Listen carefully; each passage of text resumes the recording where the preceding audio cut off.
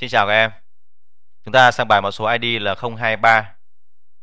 Ở bài toán này thầy minh họa cho phần ester khó và liên quan đến ester của phelon. Việc đầu tiên nhận ra có chứa ester của phelon không khó. Các em không hề thấy từ làm mạch hở hết. Ba ester đơn trước thôi không có mạch hở. Vì thế thầy xử lý luôn. 0,22 mol này của thầy có ester của phelon thì ký hiệu là ester phê và ST của ancol ký hiệu là STA. Phản ứng với NaOH số mol cho biết rồi là 0,25. Các em thu được 4 muối. À, chú ý thầy cái 4 muối này. 4 muối này để các em xác định cấu tạo đó. Phần tiếp theo là hai ancol. Ancol này đồng đẳng kế tiếp. Vậy ancol này phải đơn trước rồi bởi vì trên này ST đơn trước. Và có thể phát sinh nước bởi vì nghi ngờ của ST của phenol Ancon cho thông tin rồi là 0,72 gram. Không à 7,2 gram, 7,2 gram. Ok.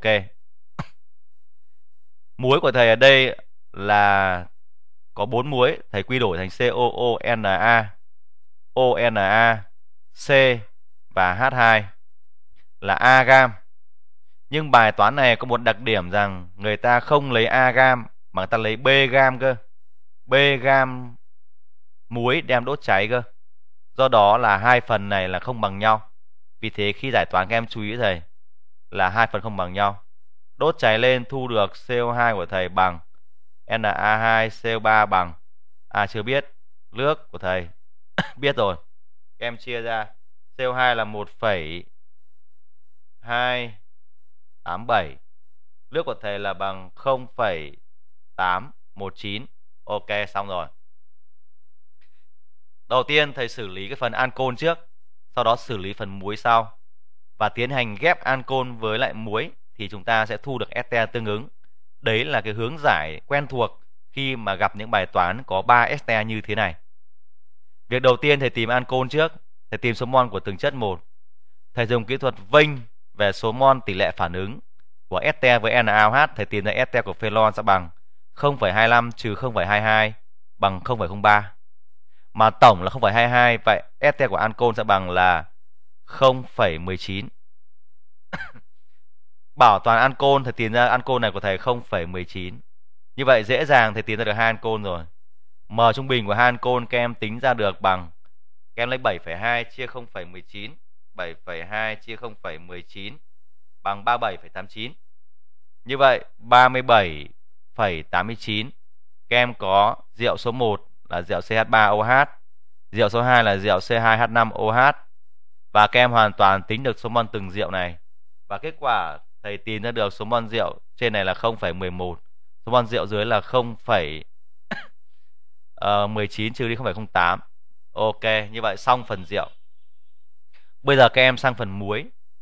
Thì muối của thầy bây giờ đề thi người ta lấy hai phần không bằng nhau. Như vậy nếu như đề thi mà lấy hai phần không bằng nhau thì gây khó cho các em rồi do đó các em phải sử dụng tỷ lệ phản ứng rồi. Thầy có như sau. Ở trong a gam muối này thì cái COONA này của thầy sẽ bằng là 0,22 bảo toàn gốc COO tiếp theo cái ONA này của thầy sẽ bằng 0,03 bởi vì bằng với ester của phenol như vậy cái tỷ lệ này của thầy ở đây sẽ không thay đổi khi đốt cháy B gam. Như vậy thầy gọi cái muối này của thầy là 0,22K và cái muối này của thầy sẽ bằng là 0,03K để thầy xem cái K này gấp bao nhiêu lần cái muối trong A gam này. Thì kết quả thầy bảo toàn nguyên tố natri thầy tìm ra được cái này sẽ bằng 0,25K chia 2 sau đó bảo toàn nguyên tố oxy bảo toàn oxy vì oxy đốt cháy muối người ta cho biết rồi là 1,611 các em có oxy trong muối cộng oxy trong oxy cộng bằng oxy trong CO2 cộng oxy trong nước và oxy trong Na2CO3. Các em tìm ra K rất là đẹp là 1,8 lần. K bằng 1,8 lần thì thầy tìm được những dữ kiện nào? À dữ kiện thứ nhất là thầy tìm được đó là tổng hydro trong muối. Hydro trong muối của thầy ở A gam nhé, ở A gam sẽ bằng các em lấy 0,0819 chia cho 1,8 ok nhân 2 lên bằng 0,91 như vậy hydro trong muối là 0,91 C trong muối của thầy sẽ bằng 1,287 1,287 cộng với 0,25 nhân 1,8 chia cho bao nhiêu? Chia cho 2. Ok, sau đó chia 1,8 bằng 0,84. Tổng C trong muối bằng 0,84 rồi. Thế còn Na thầy không thèm tính. Như vậy thầy tìm được H trong muối và C trong muối để làm gì? Để thầy tìm ra muối. Kết quả thầy có muối như sau. Đặc điểm muối này của thầy người ta cho 4 muối nhưng có 3 muối cùng số C. 3 muối cùng số C. Vì thế thầy ốp như sau. Gọi 3 muối cùng số C đó là RCONA và muối thứ hai là muối của phenol R.ONa thì số mol đây là 0,22, số mol này bằng 0,19. Ờ, à xin lỗi, đây khơi về 0,03. CONA của thầy là bằng 0,22 bằng chính số mol hỗn hợp. Thế thì kết quả thầy tìm ra được ngay C, R và R phẩy ngay dùng bảo toàn C hay là biện luận cho C cũng được.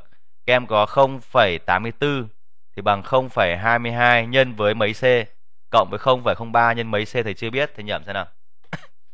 Cái an muối của phenol tối thiểu là 6C vậy sẽ là 6 đi. Vậy thầy có là ở đây sẽ là 6 như vậy 6 là 18. Như vậy phải là 6 là vậy là phải 3. 0,22 nhân với 3 cộng 0,03 nhân 6. Chuẩn luôn rồi. Như vậy thầy có là sẽ có 3 muối như 4 muối như sau luôn. Cái muối có 3C và muối có 6C thì muối có 6C chính là muối của phenol C6H5 ONA số mol là bằng 0,03 Thứ hai là có ba muối là muối no và muối đói. Muối đói thứ nhất là COONA, muối liên kết 3 có 3C. Muối thứ hai cũng phải có 3C và phải có lối đôi để nó khác nhau. CH COONA. Và muối thứ ba là muối no là C2H5 COONA. Tổng số mol thắng mất dạy này bằng 0,22. Đó nó lừa em đúng không?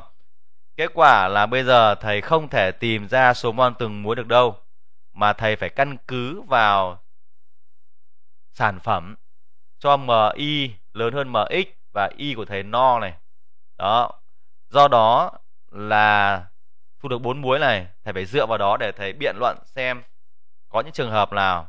Thế thì bây giờ thầy tiến hành ghép ghép ghép ancol với lại muối ra este thì thầy có hai trường hợp.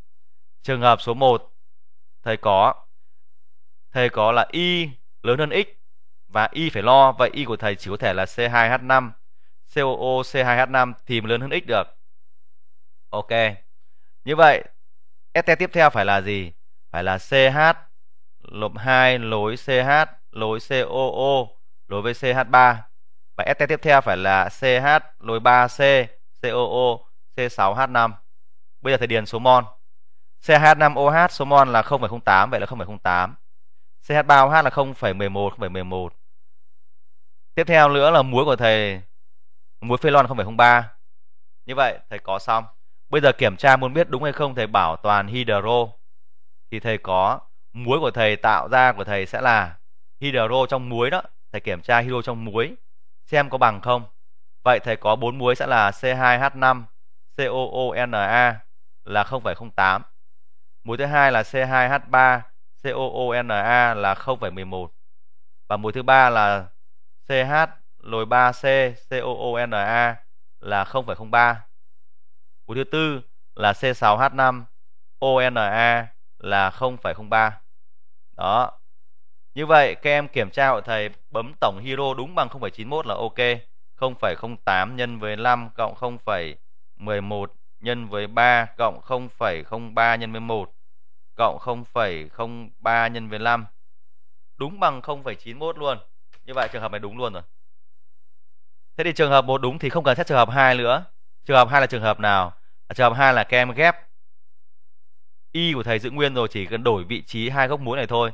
Vậy thầy có là CH3 CH lối 3C COO C6H5 à xin lỗi CH3 là 0,11 và CH2 lối đôi C lối COO C6H5 là 0,03 thì khi các em đổ như này vào thì ete thứ STI của thầy giữ nguyên nhé thì các em tìm ra muối của thầy thì hydro của nó khác con số là 0,91 hydro.